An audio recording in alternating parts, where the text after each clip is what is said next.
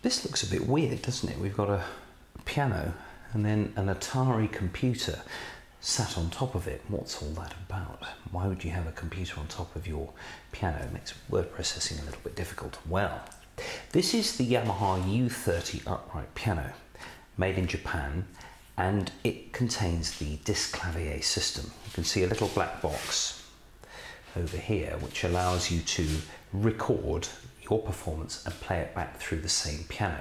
Pretty nifty.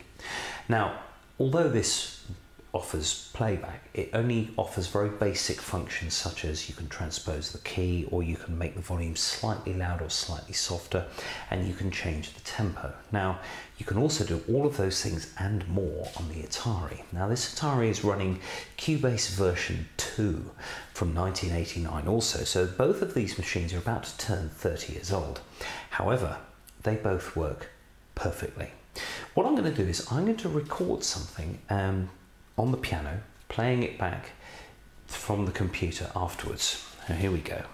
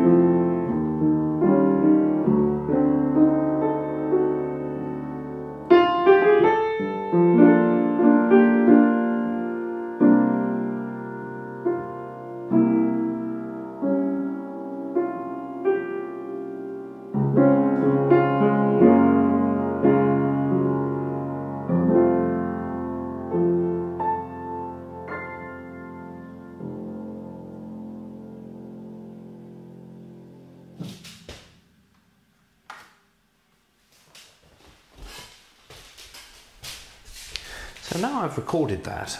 As you can see, the hammers were moving, I was playing the keys. I was also using the sustain pedal. The sustain pedal also has a sensor. So when you press down the pedal, it registers the sustain command on the Cubase, on the computer. The half blow pedal, which is the one that um, makes the keys, makes the hammers slightly closer to the keys,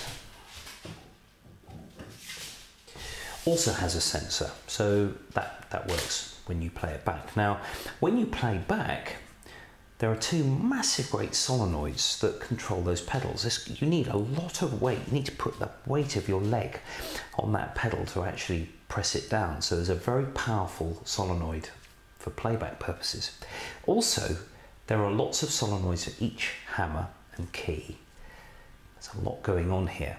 However, the data that this piano transmits is comparatively small when you consider that a modern keyboard that has lots of controls like cutoff and resonance and other sort of fine controls aren't present on this. You've got a note on command, a note off command, and whatever the note is, so C3, which would be MIDI note 60, and the velocity between 0 and 127. So actually there's not a huge amount that it's having to transmit, it's the playback through the piano that's the really hard bit. Now each hammer uh, has a little sensor which moves inside a light beam which determines the velocity at which you've recorded. So it's you know, it's, it's transmitting that data, but by very different means from a modern keyboard with pads under each key. So I'm going to play this back to you now from the computer and you can hear what I've just recorded together with the sustain pedal moving up and down with the solenoid and all of the notes at their correct velocities or rather the velocities that I recorded them at.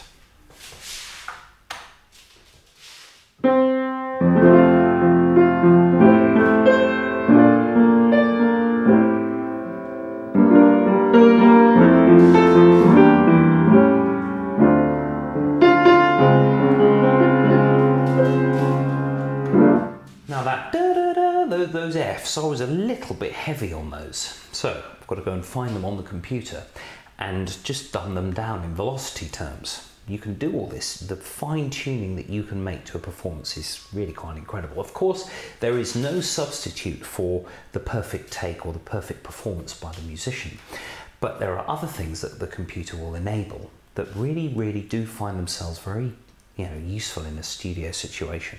So I'm just going to find those loud Fs first.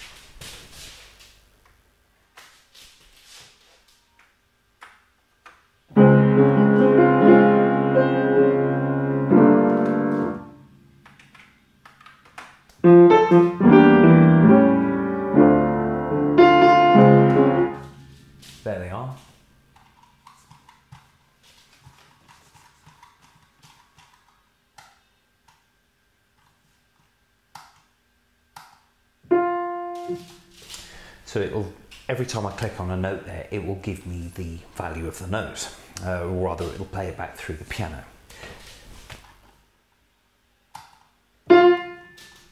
That's a loud one.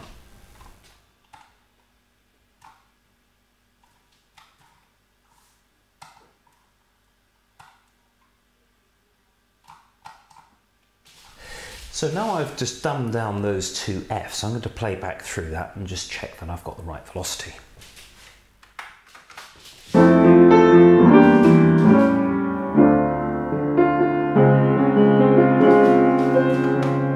There we go. I mean, I know it's the tune, and nothing too much, and maybe I could sort of split the difference with that so it just sits above those chords a little bit more easily. So I can do that as well.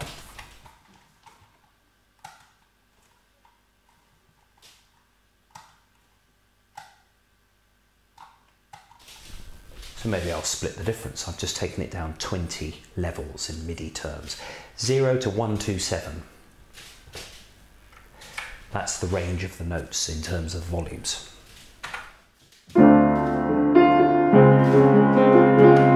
That's a little bit better. It's just that top F is just sitting above those chords. Now, I could decide that maybe I want the whole performance to be a little bit louder or a bit softer. Now, beware, if you make the performance too soft, if you took everything down by 20 points, for example, if you've got a note that you've played that was 18, that note won't be played back at all. So you've got to be quite careful with this.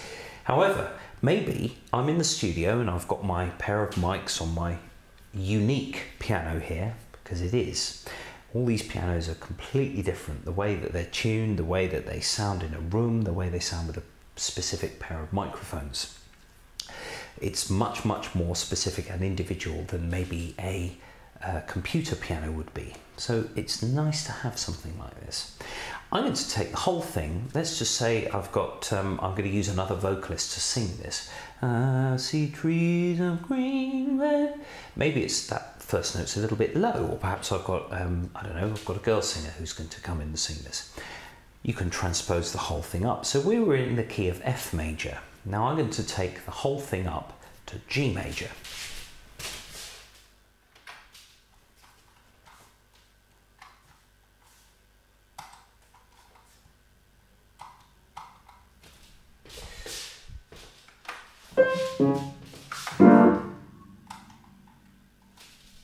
So now I've taken the whole thing, it takes a little while to get used to this old Atari mouse again. It's this clunky sort of thing. It's much different than the trackpad. But I've now moved everything to G major.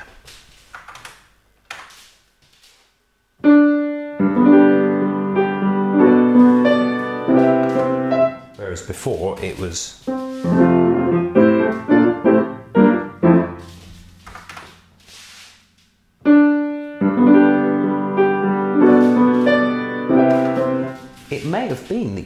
perfect recording take in a particular key, and rather than have to go back and do it all again because of a, a different vocalist, or maybe it sounds better with a, you know, if you've got a wind section or something and it just sounds a bit nicer in a particular, in another key, you can just shift it up or down on the computer and there you go. So both of these machines are about to turn 30 years old and I hope you'll agree they're it's really very, very powerful indeed. Now, the Disklavier is still being made.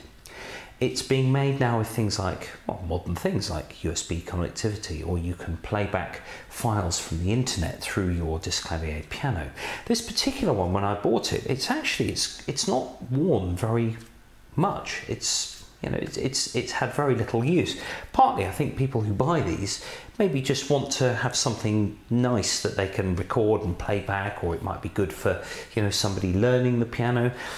But it's um, I hope you agree. It's a very very useful asset in a studio situation to be able to have that control over a piece of cast iron and wood, which let's face it is the only way to play the piano.